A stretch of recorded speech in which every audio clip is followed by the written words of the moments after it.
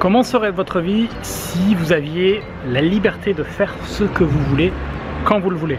Ce que je veux dire par là, c'est que évidemment, euh, personne ne peut vivre une vie euh, sans contrainte, avec zéro contrainte euh, tout le temps. Par contre, ce que vous pouvez créer et vivre, c'est une vie dans laquelle vous avez le choix de ce que vous faites de votre emploi du temps, de là où vous êtes, etc. C'est ce que j'appelle la liberté financière, c'est ce que la liberté financière permet de créer. Donc là on est lundi, il est à peu près 11h et euh, ce qu'on va faire avec euh, Céline c'est qu'on va amener notre fils euh, dans un endroit où il peut jouer avec d'autres enfants, ça coûte 5 euros, puis pour la matinée vous pouvez laisser votre enfant jouer dans une aire de jeu sécurisée avec d'autres enfants et tout ça. Donc c'est un endroit très très sympa pour les, enfants, ils peuvent bah, se retrouver, et ils ont accès à plein de nouveaux jeux, donc ça les éclate.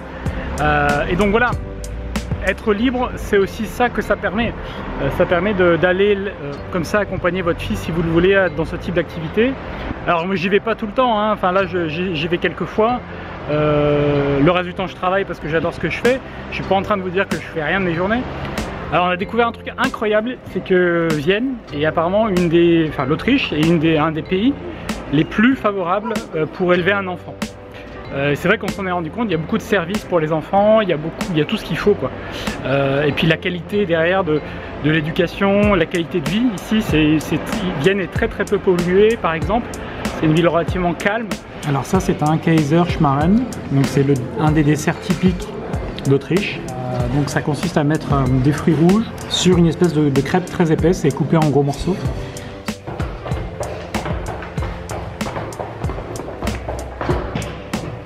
Donc bon voilà, il est déjà 14h, euh, je vais commencer à travailler. Donc pour ça, je reste dans mon quartier puisque j'ai juste à aller au café d'en face. Je vais me prendre un, petit café et puis me caler à l'intérieur. Alors ici, il y a tellement peu de criminalité, les gens sont tellement euh, sereins que la personne ici, par exemple, est partie aux toilettes et a laissé sur la table son téléphone, toutes ses affaires, sans même demander à qui que ce soit de surveiller. Donc ils sont très très efficaces ici. Euh, j'ai commandé un truc sur Amazon que j'ai voulu renvoyer parce que ça allait pas. Déjà, vous allez à la poste, il y a une boîte automatique, vous avez juste à scanner le, code barre et vous déposez le colis dans la boîte. Je l'ai déposé vers 11h et à 14h, euh, j'ai reçu un mail d'Amazon disant que j'avais été remboursé. vous imaginez le truc en 3 heures euh, le site a reçu l'information du colis, puis le, vendeur m'a remboursé directement. Donc voilà, extrêmement efficace. Il y a un site dont je vais vous parler et j'ai trouvé ça super intéressant parce que je suis, du coup je suis en train de regarder un peu plus précisément où on voudrait se poser plus tard. Euh, s'appelle Numbeo. Euh, comme number mais EO à la fin, EO.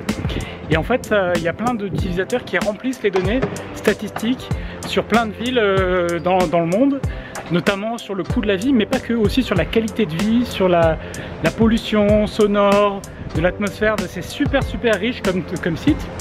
Et en fait, vous pouvez comparer des villes. Donc j'ai euh, comparé par exemple Paris avec Vienne.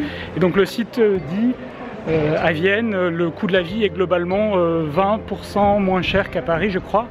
après, c'est beaucoup plus sûr et sécurisé ici.